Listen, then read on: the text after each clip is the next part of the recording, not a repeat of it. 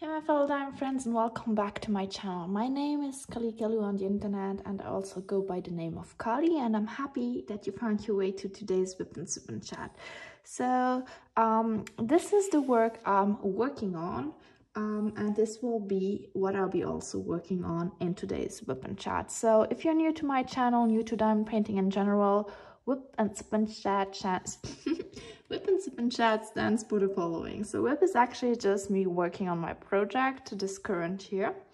And um, you can work alongside me on whatever project you are working on, or you can just do chores or whatever it is you want to do while I'm chatting with you. So the second part um, so I'm going to talk to you a little bit more about today's week and whatever is up uh, in my life, what I want to talk about, what I want to show you, like the usual stuff.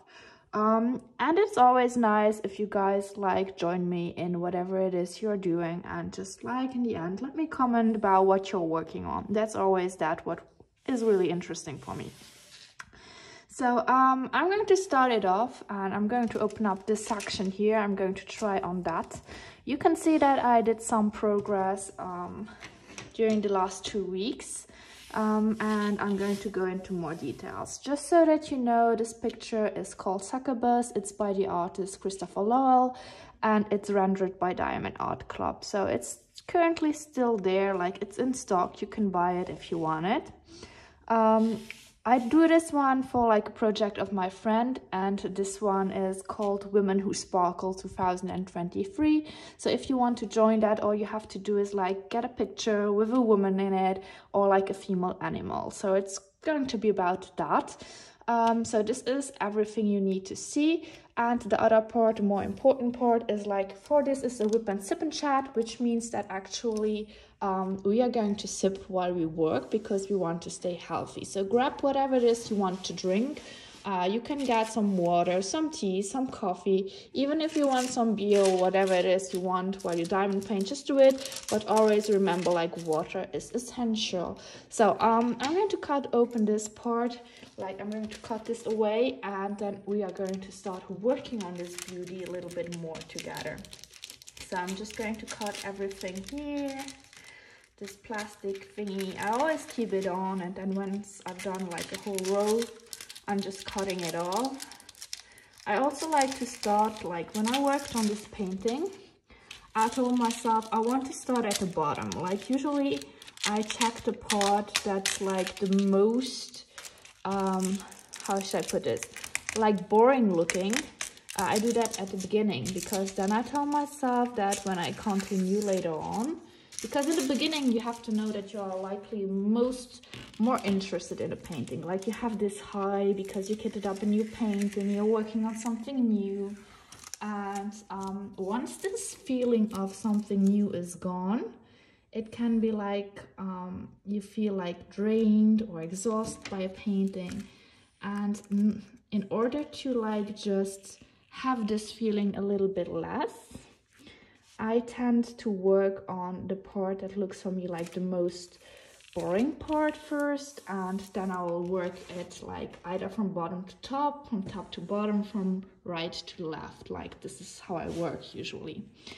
Um, so yeah, I just put down my uh, paper, stick paper, so that I can just cut open my section. I use like this little what do you call cover minder to hold on the plastic folio from Diamond Art Club. I have like my little zesty mini tray, trashy tray for my trashy drills. So they are actually not, not all trashy. Some are trashy drills, others are like more of um, drills that I spilled and that I want to work on or keep using later on. So I'm going to zoom in a little bit try to get in focus the part that I want to work on. So this is going to be this part here where we have like the bird.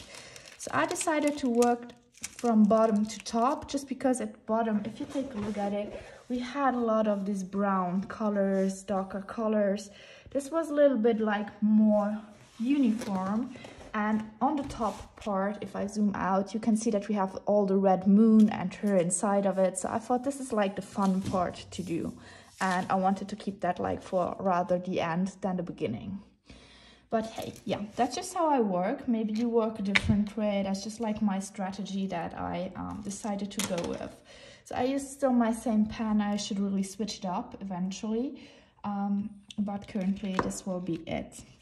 So what i wanted to guys talk that's not really english but what i wanted to talk to you guys about today is um, i've been pretty quiet on my youtube this whole week and last week you did not get a WIP and Sip and Chat either.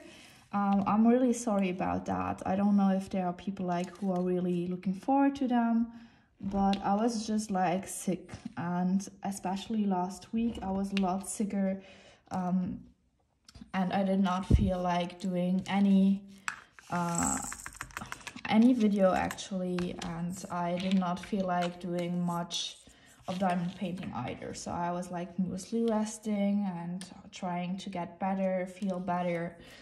Actually, what happened is, let me start actually with that. So um, last week on, you may know, often Wednesday is my day off. So I can stay home and I usually take that day to prepare stuff or like my boyfriend is in teletravail, so he's staying home, he's working from home and we just like use that day to hang out together and like just having a good day midweek let's put it that way. We often go out eating out in the mid like around uh, for lunch and stuff like um, that's also some things we do. And like we had a lot i had a lot of going on at school at the moment you know i work at school and it was the time we have all these parents visiting us at different days always late at night. We had a lot of reunion and so on. And last wednesday was not different so we had another reunion. And actually it was horrible because like usually like i told you guys i'm off Wednesday. And what they did is they put on a formation like journée, pad journée pédagogique, that's what they call it. So it's like a day where all the teachers have to be present and we will do formation together. So about a topic we have decided to work on.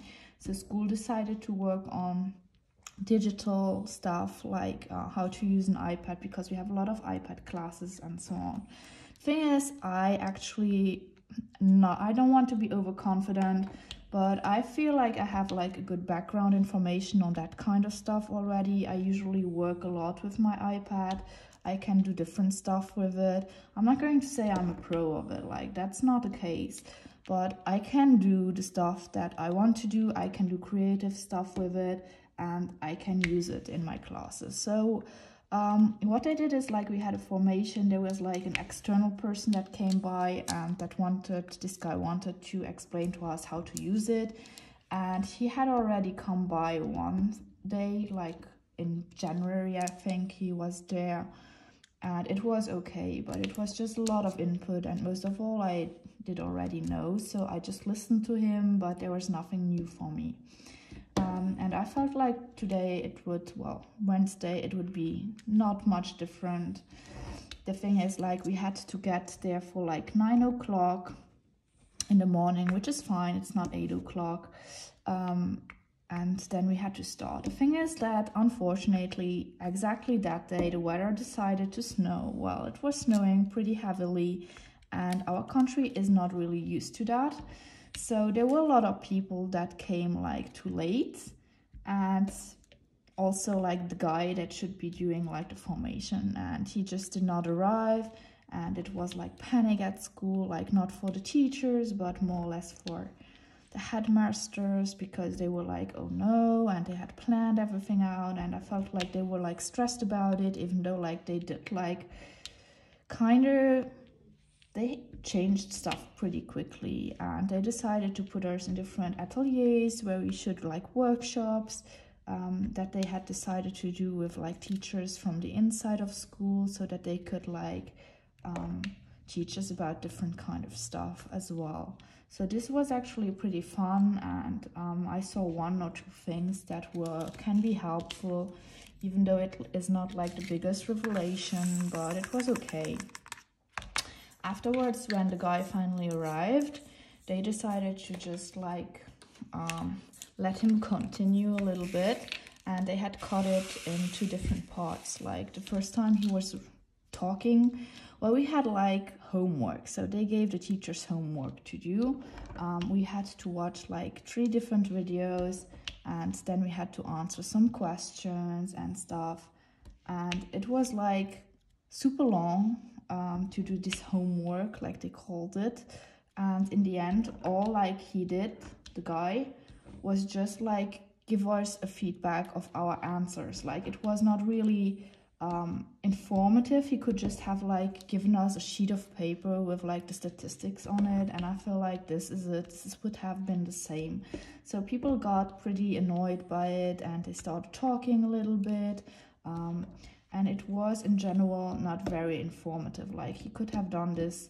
They are paid a lot for that. And I felt like I could do the same. I don't need like a person to explain to me what other people answered, like what they think about like newer technologies. Like that's not really going to help me out with newer technologies. That's how I felt. And so for me, this part was total waste of time, if I'm honest. Um, yeah, and afterwards we did like the second part of our workshop, which was a little bit more interesting again. And afterwards it was like the guy that actually finished off the journey with like a second part of more uh, feedback on actually you had to do a, a quick feedback each group on the workshop and he was just like during a whole hour reading our feedback from one group to another and so on. And this is pretty annoying because I feel like this is like how to waste time we could actually use to learn really nice stuff about um, new technology and stuff, iPad, or like how to use like these applications in class. So I feel like it was wasted time. We could have used differently, but that's just my opinion. Maybe it is because I already know a lot about it, on how to use it. But when I talked to the other teachers later on, they just felt the same way. And I felt like our headmasters were like really, I don't know. I felt they were like in a bad mood to just put it that way, and I don't know why because like I don't, I'm not part of it, but um, yeah, it, the whole situation was like it was not like the best day we had. Like it, they tried to make it good and fun, but it just was not that amazing. I feel like, unfortunately. So that was it. And then when I was finally in the train to go home, because it was like taking until six o'clock, uh, six o'clock, what I'm saying, uh, four o'clock. And I tried to go home. I went home, I took the train. And when I was sitting in the train, I started coughing a lot and it just did not want to go away. And I felt like, oh, did I, did I not drink enough? Was it like too hot in there or something like that? Um, I could not explain to me why I was coughing, but I told myself it will probably go away. Tomorrow it will be better. I'll just drink some tea at home and it will be gone. Um, the thing is that the next day actually it was not gone. The next day I had like, it felt like, you know, if you have a wound that is lying open and whenever air or whatever touches it, it just feels like it's burning and I had this sensation like in my throat. Like it's not really my throat it's more like the whole um, air conduct. Like it was like really really not a nice feeling and it felt raw if I can say it put it like that. I'm no doctor so I don't know if this makes any sense to you guys but it was really hurting me a lot. And I tried like usually whenever I don't get that often actually. I never had that before I had like the COVID um, and this reaction I did to the last vaccine I received. But um, yeah, it felt like, it did not feel like COVID actually. It felt more like, I don't know, because with COVID I always had like my throat that actually hurt. Um, I'm super well, when I get sick, it's often my throat, actually. It's not my lungs or whatever. It's just my throat that's getting itchy and stuff. But I did not have that. Not at all. It was really just the airway um, that was, like, hurting. And, um, yeah, I, I did not have, like... I was taking a look, but, like, our uh, doctors. They were all fully reserved. So we have a problem here in Luxembourg that sometimes if you want to look, you go to look for a doctor, you can't find one. You can't get an appointment within the day. You have to wait like two, three days until you get actually an appointment. So this can be pretty annoying.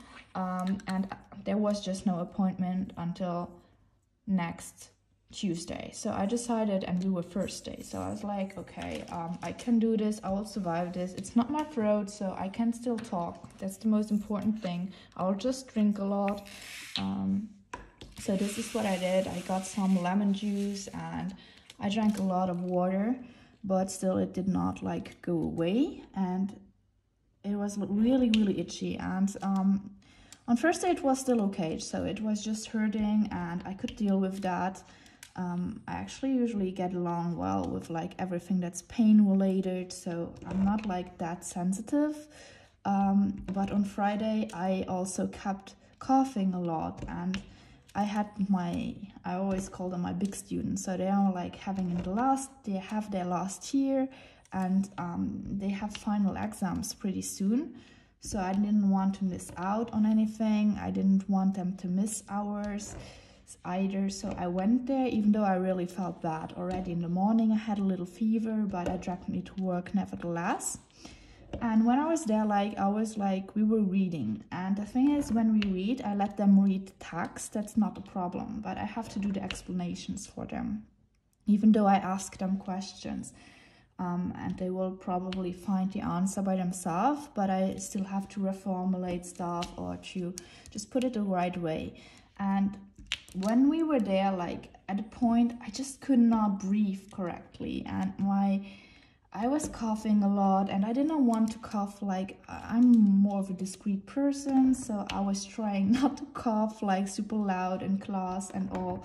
Um, but I just could not. I felt like I was like kinda not getting enough air or stuff, and it was really, really hot. And I was like a mess and they noticed it and I was laughing it off by the way but I just did not feel good. And I was happy once this was over but Friday is always like my worst day because afterwards I have like the very little ones. So I go from the big ones who are about like 18 19 20 years old to the little ones who have 13 12 13 years they are 12 or 13 years old and I felt like I have to be like more strict with them just because I have to repeat stuff a lot and I have to tell them to be quiet and stuff. I don't know if you are like a teacher, you know that situation is no longer as it was when I was at school or um, it's difficult with the kids nowadays because they're like um, if you tell them to stop, you have to tell them multiple times to stop. They just don't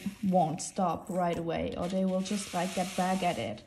Um, I don't know why this is, but I don't know. I'm not going to go into details with that. It's just like, um, let's say that Fridays are super energy drawing for me because I have like bigger kids where I have to explain a lot. Um, and then I have like four hours of the smaller ones like uh, 13 to 40 years old and um, let's say it's more like of disciplinary stuff that I have to do and this takes a toll on my voice as well. So I try to to be as efficient as I can be but I still they are like bigger classes. I have like a lot of kids in the class as well so I have to talk louder. And if you have already problems with your voice or with your airway, it can be pretty complicated. So by the end of Friday, I felt really, really bad. And it was not just my throat that was hurting, but it was like everything was hurting more or less. Um, and I was so happy when I went home and it was weekend. And during the weekend, I actually did not do a lot. I was really at home trying to get a lot of rest to feel better next week but on Monday it was still not better, so I decided to get an appointment nevertheless. And I was happy I had a chance because the doctor just opened another appointment, so I got this one for Tuesday. And I did not go to work on Tuesday. Um, Wednesday was my day off, and on Thursday she decided that I should stay home as well, just to like cure it out. And because she said if the lungs are getting infected. That's not good. So um, I had a rest. I rested a lot. I try to stay warm and stuff and I feel better now. So it's still not gone entirely. I still have like this pressure on my lungs if I talk a lot. Um, but I feel like it's easier like if I have to talk. Um, yeah, let me get a sip though.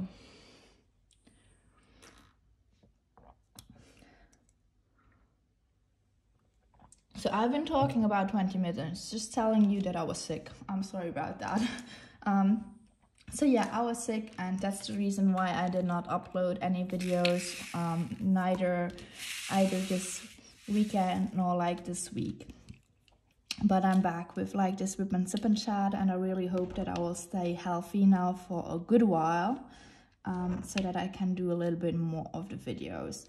So what else did I want to tell you? Oh yeah, like what I wanted to tell you, even though I did not put up any videos, is that actually on um, Tuesday, I think it was, yeah, it was on Tuesday, I finally, like, I told Bev that I really wanted to, uh, Bev from um, Bev B, you know, um, I told her that I really wanted to see because I had never seen any of her lives and I really wanted to go there and meet her, like, and talk to her and um, be part of her life actually. So mm, the last time I tried it, actually, I was, um, let me just see what, okay. Last time I tried it, I was like, the first time I fell asleep and I did not wake up on time. Um, the second one, what happened is that I accidentally thought it was the wrong day because of her birthday, so I did miss out on that as well. I went too early and the next day I forgot about it. And the this time I actually got there.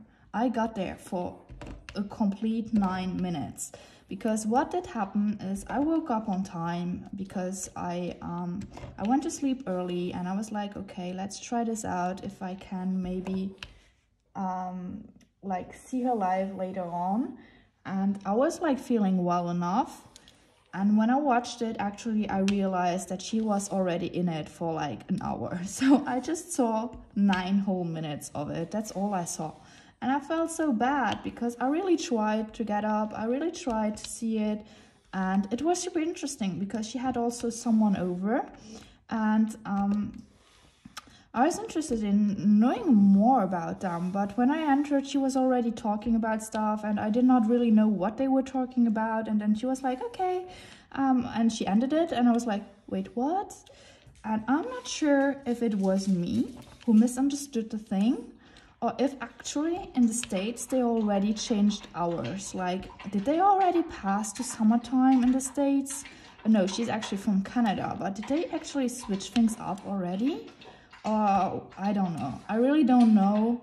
Um, I'll try again this week to catch her because I really want to get more into like um, these live streams and I also thought about joining like Miss Coffee's Friday live stream. This is also something I wanted to do. Um, the thing is always that it depends on my week. If I get too tired, it's difficult for me to stay up or to just wake up. Um, but I will try. I really want to do it, so it should be okay.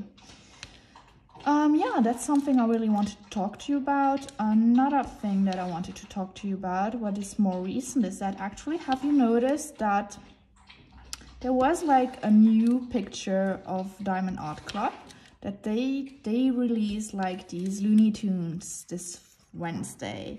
And when I checked out like the web page on Thursday, there was like this new Yume art kit that they sold. Like they did not even announce that they were selling it. It's just like they're sitting there on their page as a limited edition. And when I checked it out and I went to the description box because I was like, why didn't they announce it? They said that actually it's like, if you know uh, Studio Ghibli, it's a Yume art one. They render a lot of Yume art at the moment and I'm not unhappy about this. I'm really loving it. And anyway, so it's a picture by Yume Art and it's one from Kiki's delivery service. And I really love like this Ghibli movie. And I was like oh why didn't they like did I miss something? Or why didn't they just put it up in their like on their Facebook group? Or not Facebook I don't follow them on Facebook but on their Insta. Why don't they put them up? And I was checking them out again. And no, it's not there. Um, and then I read the description box and actually what it is, is that it's a version 1 kit. It's also in the title, if you look at it. And it says that it actually is like, um, they are not that happy with the rendering. So it was done by a junior designer and apparently the size is too small for them to like it. Um, when I looked at it, there was, I was like, first I was really astonished about it, like, uh, why is it there? And they are right, like it looks a little bit more pixelated than we actually would say or that we are used to from them. This does not mean that it's actually bad. I looked at it and I thought that it looked okay. So, uh, and it's an artwork that I really like and they did like offer it or they are still offering i don't know when you're watching it or if it's still in stock by then but they offered it for like 50 percent off and i was like okay so it's like smaller than the one that they want to put out in summer. So they said that they would do another version in summer. And i was like okay maybe i should wait for it. But then i was like hmm but maybe if it's smaller that's fine too. So I decided to get it nevertheless. And I want to get the other one as well so that I can try actually out and compare both of them um, this is something that I want to do just to see if the size does really make a big difference um, and I also love to work on smaller kits. When they say, I, am really curious to see what they mean because the, the kit is actually not that small. It's already now, um, it is, mm, what was it, like a 55 to 80 if I, I'm not really sure about the, detail, the details. Let's say it's about 55 to 80 or something like that. I don't have like the right um, size in my head now but that was about it. And i thought that is it's not that big but it's not that small either. So i wonder how big they want to, to go for this one.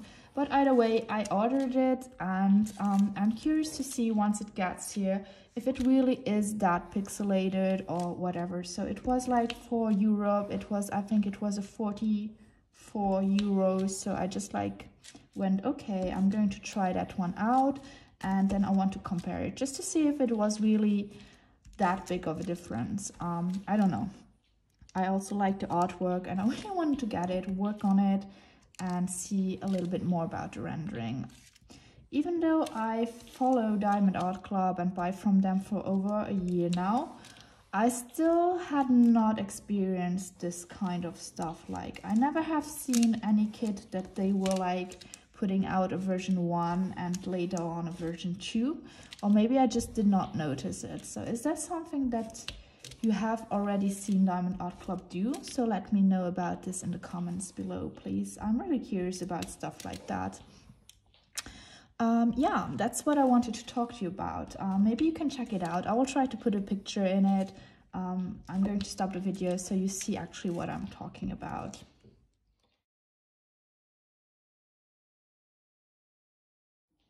So yeah. Um, that was that. I really like kiki's delivery service. What else did i want to talk to you guys about? Oh yeah. Um, actually at the moment um, since i was sick i did not have like much to do i worked a little bit um, I did stuff for work. Nevertheless, I put up like some homework for the students because they ask us to do that. Um, I worked also a little bit on the books that they should be reading, like everything where I did not have to use my voice much um, and where I could give it a little bit of a rest. But um, me, while I was doing that, I also had like the time to watch a little bit more of TV so I was like resting and there was like a series that had popped up on my Netflix that I was curious about. So I'm interested in everything that's like uh, Asian culture. And there was like this series about um, sects and cults in um, Asia and there was like I don't know what it is called. Like it was in the top 10 now this week or last week. Um, in the name of God, I think it's called. In the name of God. And it's a series about like religious cults and stuff. I'm not going to go into details about it. Um, sorry, one second, my dog is just like, you know, if you have a dog, does your dog also like randomly start licking, licking its paws? And it gets super annoying when he does that because like Edgar, he does that sometimes. And he does so much noise when he does it and it gets so annoying, especially at night when everything is calm, I'm watching something and he starts licking its paws, like horrible. I really have like to push him a little bit and um, like not hard, but a little bit like little shove and he will stop usually. But um, yeah, does your dog do this as well or cat, whatever? Yeah, I know cats do that, but they are not as loud, I feel like. Eka. Yeah. Um, what was about? Oh yeah, the series. So I was watching the series. and actually, it's crazy. Like, I knew about that cults and stuff, and I didn't knew a little bit about it, but I can't. I really can't. If you take a look at it, the first one is about a GMS cult in Korea. So everything is based in Korea for this like series, and it's a cult where actually the leader he um they are more like they at the first glance they are not really a religious cult. So they are more about like a social club. They do sport activities. They are open-minded and stuff. But um, they have like a more scientific way of explaining religion as well like christianism. And somehow there are a lot of people that got interested in it especially because they were like more open-minded at the beginning and if you take a look at the videos they show you and so on there are a lot of younger women actually that were part of this cult. So there were like women who were like talking to other women explaining them that um, they should join in it's fun and so on. So you have like also testimony of different people especially young women who talk why they joined them and so on. And throughout the video, you actually see how horrible um, this cult is. Just because, like, the leader, he thought that he was the last, the new Messiah. And that he was like the incarnation of Jesus that came back to earth. And he was abusing women through this status. So he was like really sexually assaulting women. Um, by using of like the status as cult leader that he had like people were especially women were like so happy when they could finally meet him. And often they were introduced through other women who had like probably experienced the same thing but who did not say anything. Like for them they were so brainwashed that it already became normal to be like sexually assaulted by him and that's the part that's like incredible. I mean if you see someone do that um, or you go through that you would not like get other women in the same position you were in. But they actually used like other women who already had gone through this assault um, to get to other women like. And this is like the crazy part. The part that I can't really understand. Like, I mean, if you have that, you live through that, how can you do the same thing to someone else and you know exactly what will happen to you? And there's like one informant that was talking. Um, she's really young and beautiful and she can't explain it to herself why she was this way, why she did it. But she said that in the end, often like the victims felt like um, it was their fault as well. Like they were not really victims anymore. Like they were part of it. And so you will come into a role like you don't really understand and you don't really know what your role was in it. If you are a victim or really a harasser or part of it. Um, and this makes the whole thing for them as well so confusing. So it's not just about GMS in this like um, series. It's also about other cults and um, often like it ends in murder in these cults. And if you take a look at it, if this is something you're interested in, um, I think it can be super, super interesting. But I, I don't know. I'm it was really difficult for me like to watch all this especially like the second cult that they are presenting there is like um i don't know. Um it's about like either mass murder or it's about mass suicide. So they were never sure about what was the reason behind all of the deaths but um in the end it can be like pretty shocking. And you feel so bad about it when you watch the videos or the episodes. You just think or at least i was thinking how can human beings do that to other human beings? Um, but yeah this is just what i want to talk to you about if you're looking for a series and you want to go a little bit more of a documentary you can take a look at that so it's on netflix and it's called um, in the name of god i think so um, yeah, really shocking, but quite informative as well. Um, and they want to do a second series of it, like a second, yeah, series of this, um, not series, what do you call it? Uh, yeah, anyway, you know what I mean. And um, they are not sure if they can do it because they put like the, the people who testimony in danger, actually. Um, so they are not sure if they should do like a second season, the word was season I was looking for, season of it or not. Um, but I would love to get a second one, but I understand if people don't want to actually testimony, for, do testimonies for that. Um, it's super relatable, but hands up for, hands down for like all of these people who did it um, you can see that there are like some people who do it with like showing their faces. The other people still hide their face. They want you just see like their back or you just see their body but not their face. Um, but all of the testimonies are like honest testimonies, at least like um, they say speaking the truth and it's not like enacted, reenacted. So um, I really liked watching this series. Really informative as well. So yeah, this is what I wanted to talk to you guys about. I'm just going to play it like these ABs. So just like a quick reminder, I'm doing this like painting for the Women Who Sparkle event. Yeah, so it's for this um, Women Who Sparkle event. If you want to join, you can still join. It's until the end of the month. So if you get a picture done until the end of the month, you are fine. And I think that they also said um, that you can actually if you don't finish it in time like until the end of March you have still time furthermore time to just finish it off afterwards if you need it so if you want to check out you can take a look at diamonds and pearls uh, and pores like she's like the, my friend that actually hosts this one with uh, some more of her friends. You can check them out. You find them on Instagram if you want to find it. And you can also use the hashtag so that they can actually see what kind of picture you are working on. So this is this. Um, this is the ABs. This is the part I was working on. I hope you enjoyed today's video. I'm going to stop it here for today.